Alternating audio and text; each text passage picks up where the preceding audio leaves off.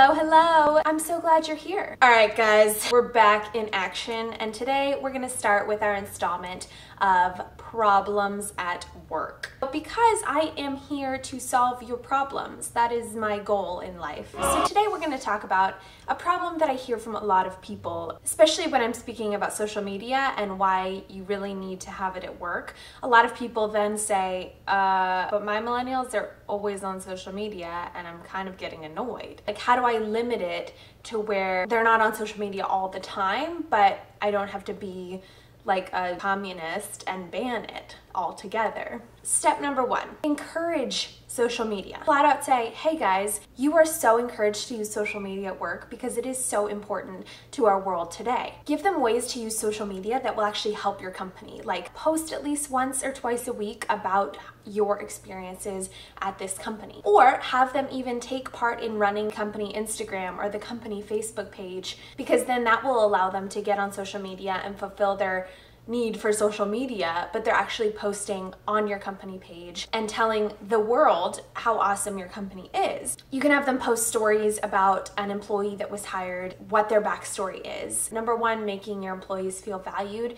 And number two, you're utilizing social media, which is the number one method of communication amongst millennials today. More than 62% of people actually find out about jobs through social media today. So if one of your millennial employees has a very talented or bright friend that you might want to apply to your company, having your millennial employee be able to post about their job and about their company on social media is going to be a huge positive for getting their friend or their friends to be able to see how awesome your workplace is and get them to apply. Tip number two, ignore it. Instead, focus on the deadlines and the outputs that you need from them each day. If you're giving them a full day's work, maybe they're not completing all of it in the time that you had hoped that they would, you should confront them and say, hey, why didn't you get this done? And then maybe they'll start to think about the fact that they're using social media too much. If they are getting it done and you still think they're using social media too much, then maybe it's not actually getting in the way of their work at all and it's just used as a quick five minute brain break every now and then. Sometimes I hear from my friends a lot in one day on social media and it's because they don't have enough to do at work that day. If your employees happen to be using social media a lot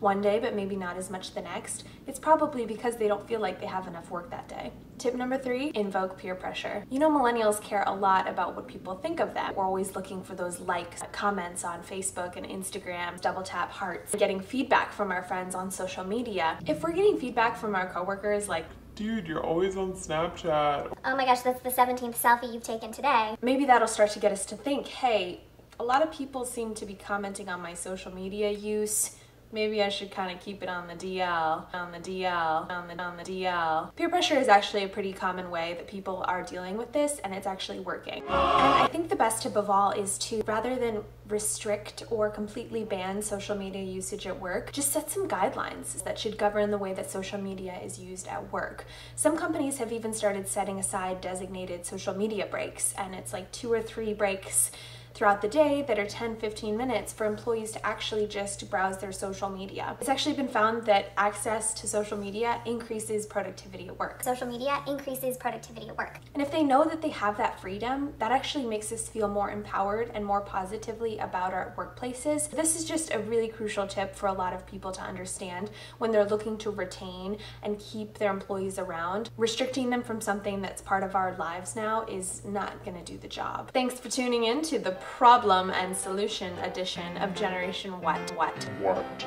And if you guys have any specific problems that you would like to talk through or to discuss on this channel or otherwise, please reach out to me or please leave, just leave a comment below. And this will be the last video for about a week or two because I'm headed out of the country. Please follow along and share this channel with everyone you know and I will be the happiest person ever watching Generation What, and we are out.